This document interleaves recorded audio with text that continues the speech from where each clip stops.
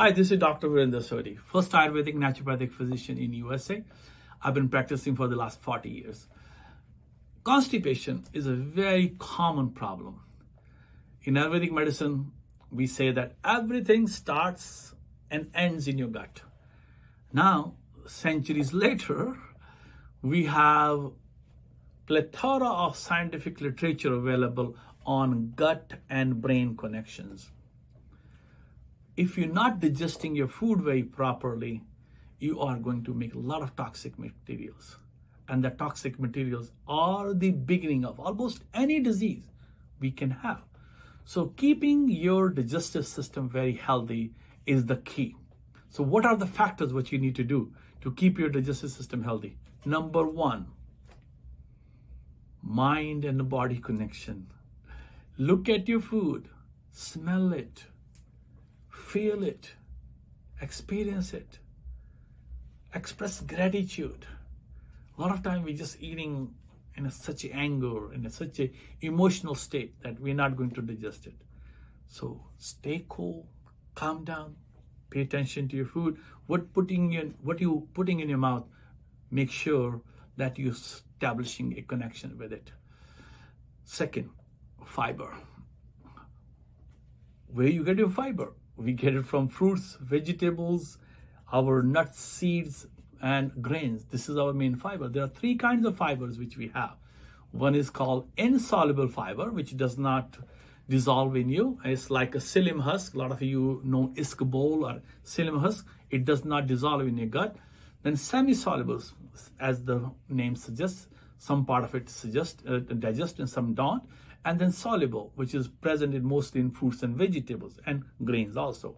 So these three fibers are very important for our gut health. Why they're important? Because they support the gut flora. So interestingly, in our gut, we have more bacteria than your cells. We have 100 trillion cells in the body, and we have 1,000 trillion bacteria in the in our gut. So if you think you own the body, think again your microflora, your gut bacteria owns you. Depending upon what kind of food you're eating, these microflora establish itself and causes health and disease. So make sure that you chew your food properly. Important. Because that starts your digestion in your mouth. Then it goes to your stomach where there's a hydrochloric acid. Very important. And then it goes to your small intestine. And it is as soon as it goes to small intestine, the pH changes to alkaline again. And then the also it puts more enzymes in there and the bile in there. And then it goes to the large intestine. The large intestine become acidic again. So starting in the mouth is alkaline, then in stomach acidic, alkaline in small intestine, acidic in large intestine. So those are very important connections. If you don't chew your food properly, you're not going to get that. Do you get it? So start chewing your food very, very properly. Okay how much fiber you need to eat? We need a lot of fiber. Five to six cups of vegetables, maybe one to two servings of grains. Dals, beans has also a lot of fiber in there too. And if you're not used to eating that much vegetables, start slowly. One to two cup a day, go for one week, then three cup, then four cup, then five cups. And you can add lots of vegetable in many different forms in your food. Another factor is water. Most of us, we are not in hydrated. We don't drink enough water. When you wake up, as soon as you wake up, drink two glasses of lukewarm water. This starts the peristalsis, the intestinal movement, and you will have a bowel movement with that. Keep sure that you drink around six to eight glasses of water, depending upon the season. If it's a hot weather, drink cool water. If it's a cold weather, drink warm or hot water. Okay, so another thing which is very important is acid in your stomach. So how you can promote good acid in your stomach is first by looking at your food, making a connection with your food. Second is putting some lime, lemon in water, vinegar in the water.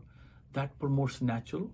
And again, a lot of pickles does the same thing too. Pickles also, if you make at home, also provides you a lot of good bacteria. Then the another part which is very important is bile. And bile is produced in your liver and stored in your gallbladder. And one of the most important functions is does it increases the peristalsis, that the intestinal motility. And if you're not digesting your food very properly, you are going to have less of a bile production. Your liver will be not happy. What stops the liver from functioning is alcohol, too much caffeine, too much sugar, too much processed food. All those things which we eat deep fried, all those uh, over the counter kind of uh, your uh, snack foods, they are fried, most of them. Not good for your liver and your liver get choked and you're not going to make enough bile. When you don't make enough bile, you're not going to digest it. So it's simple. It's not very difficult. Be mindful. Eat more fiber. Drink more water. Make sure you establish connection with your food. And then if this does not solve the problem, you can add oil in your diet. So put oil on top of your food. Don't fry. When you fry, basically you're destroying the oil and also your body is not used to fried oil.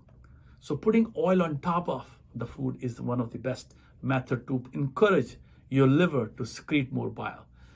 And then there is another, you know, if still lost, then you can add herbs like Triphala is amazing, wonderful. Take a one teaspoon at night with lukewarm water, and you can add some ghee with it. That will provide a good solution for your constipation. This is a simple thing, but there are lots more things. And in some other video, we'll talk about that. Namaste. Thank you very much.